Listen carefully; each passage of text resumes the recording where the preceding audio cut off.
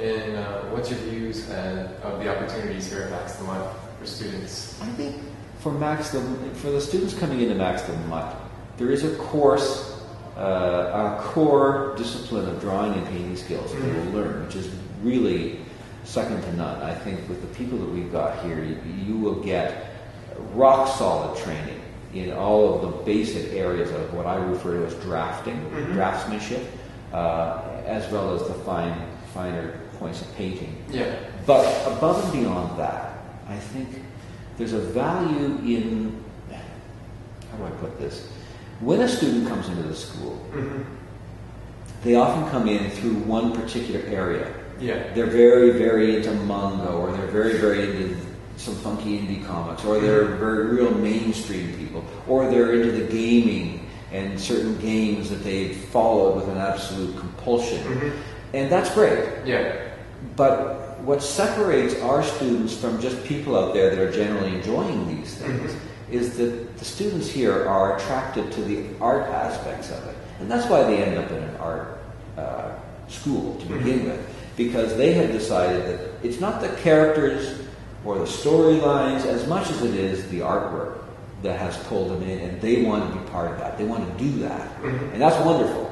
But what I hope for them, and what I think both myself and I know many of the other instructors will do, is do our best to expand their their understanding and of the history of what is out there and of all the wonderful range of amazing artwork that's out there. From a personal standpoint, I will give them a lot of background on the wonderful illustrators that were working from oh the early 1900s on up until the 1960s. Mhm. That's a, a period that a lot of people don't know much about, and there's so much beautiful artwork out there.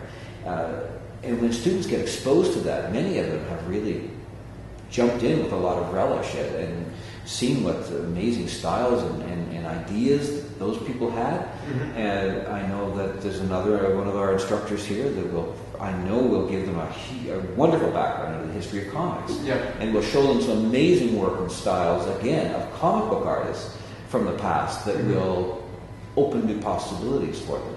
And I hope for the students that they come in and are open to that, are, are prepared to to take in, soak up new influences uh, to, to make them better artists and, and not just maintain that narrow focus on that one thing that, that brought them in. Of course, I expect, as I think for me, Mhm. the first love will be your last. Yeah. And that, that muse that brought you in will always be near and dear to your heart. But there, that doesn't mean you can't take in influences um, and appreciate this broader range of work that exists out there. Mhm.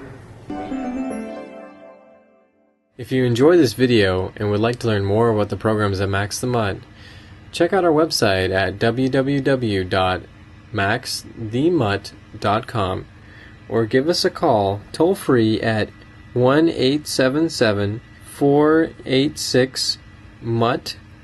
That's M U T T. Or if you're local to the Toronto area, give us a call at 416 703 6877.